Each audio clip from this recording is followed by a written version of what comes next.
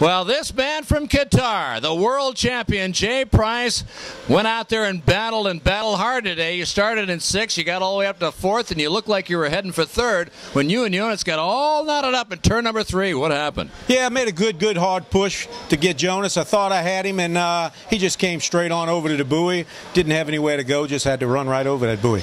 Yeah, and for you, you came racing back in, and uh, thought maybe you could get back out there in the fray, but uh, things only got went from bad to worse. Yeah, when they took that buoy off, I went back out and tried to make a good lap. I felt a heavy vibration, brought it in. The team saw that. Apparently, there's a chain hook to that buoy, to a prop, the gear case, and the bottom of the boat. Jay Price, the Qatar team driver, though, wraps up the season. You keep the streak alive. Yes, uh, we're real happy about this season. We went all the way to the top. Now we're at the top, and we plan to stay there next year. And the big news is he left the competition to the back of everybody else with that world championship and three wins. And I'll tell you something, why don't you show us your number one expression for 2009? Here it is.